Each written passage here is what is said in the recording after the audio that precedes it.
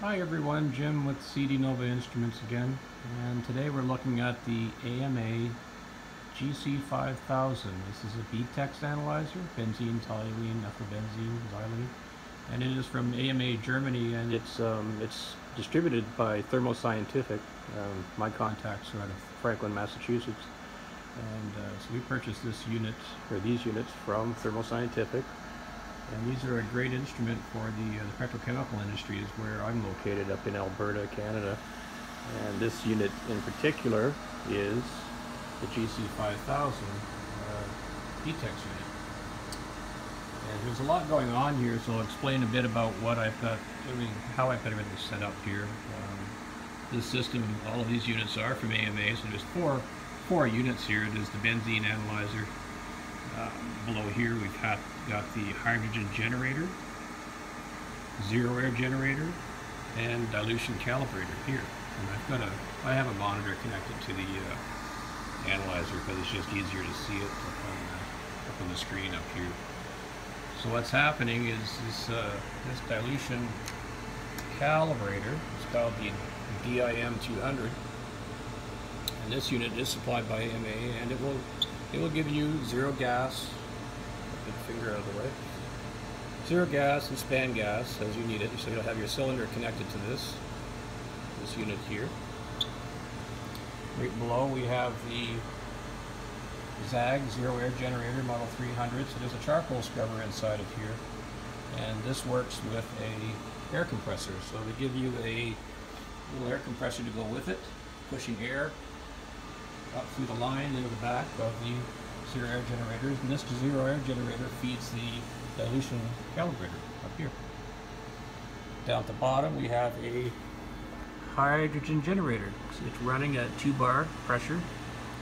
And this unit is supplying hydrogen over to the GC5000. So it's called a GC5000 BTEX analyzer. So this unit needs hydrogen because it has inside, it has an FID, flame ionization detector, around the side. So here's the FID of this unit.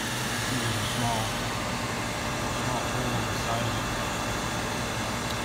And so it has an FID, but it also has a column inside of here, a stripper column, and it runs on a hydrogen carrier gas instead of nitrogen. So I'm used to seeing gas chromatographs run with a nitrogen carrier, but this unit runs with a hydrogen carrier. See on the back, when it's split, there's a hydrogen being split, one for the FID here, and one for the column carrier here. And the reason they do that, they find hydrogen is a better carrier because it creates better peak separation on the uh, peaks that are close in, in the column that are almost on top of each other as it is with, I think it's styrene and xylene in this case. It actually creates a better peak separation in the chromatogram, which I'll show you in a little bit. Um, enrichment tube down here. Pressure regulators, uh, carrier, carrier gas. In this case it's hydrogen. FID air, which is also hydrogen. So both of these are infested with hydrogen. Here's the pump. The pump, the sample. And then there's the Detector inside this unit. So the, the column is sitting down underneath this element here. Okay, show it to you, it's just it's all secured in there. And then on the front, there's the computer module. And there's the uh, front screen on this unit. So it's easier to show it up top. Oh, one other thing I want to show you. Water reservoir. This is an uh, external water reservoir which is feeding into the hydrogen generator right here.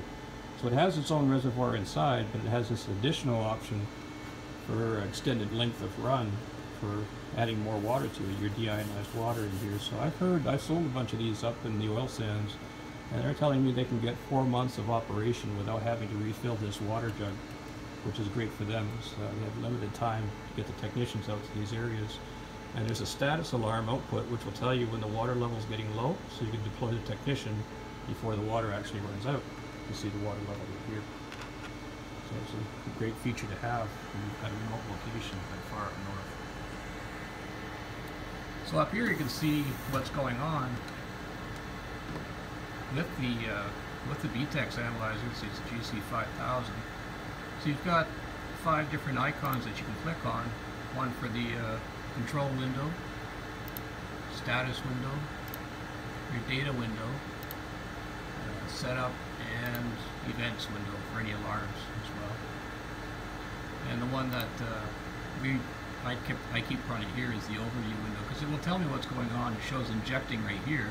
It shows you a picture of the cell, and it's actually drawing the trace right here. You can see it as it's coming. The peaks are coming out of the uh, gas chromatogram. So if we go into chromatogram, we can uh, expand that window, and we can actually see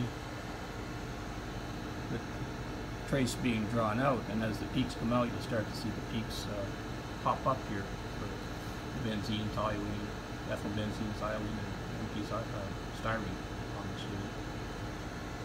So easy to operate, easy to navigate through the windows. And, uh, we can actually go in and look at chromatograms, past runs. So we can uh, we can scroll through them up here, simply looking back and forth. So every 15 minutes it does a run. And just to see what the peak readings are, you can bring your mouse down, just highlight it. For example, there's there's benzene. Okay. Here is toluene. Down here is ethyl MP xylene, styrene, and O-xylene. So the reason I mentioned earlier they're using hydrogen for the carrier on these units is because they can get, find my mouse again, they can get a, uh, a better peak separation. And you can see how close the styrene and MP xylene is, and I've seen past units that run nitrogen carrier where you can't even tell the difference between these two peaks. They're usually right on top of each other, but by using hydrogen as a carrier, they get a much better peak separation. And the great feature of this window is you can actually click on the chromatogram, you can zoom in and spread these out a little bit more so you can see them a little, little closely. So you can see the good peak separation you're getting between uh, styrene and uh, O-xylene in these units. So a great feature here that you can uh, zoom in on these chromatograms and look at it. So back to that window that's drawing the chromatograms. So this is real time. So you can see the peaks that are being drawn out as they're coming out of the column, the stripper column. So if you're running your CalGas, you can watch the response. Whether you're running uh, ethylene, or in this case, the BTEX analyzer on this unit. So that's the uh, GC5000 setup. And the other thing that's neat, if you don't have a monitor handy, you can actually, this is actually a touch screen. So you can touch, go through all these windows and do exactly what I was doing a moment ago on the uh, on the mouse with the, uh, the monitor. And so you can look at the at the chromatograms, you can actually go over and touch them, and you can see the results just by a touch of your finger. There they are there. So an incredible unit, incredibly well built unit, very strong, very robust for the field operations that we see out here in Alberta.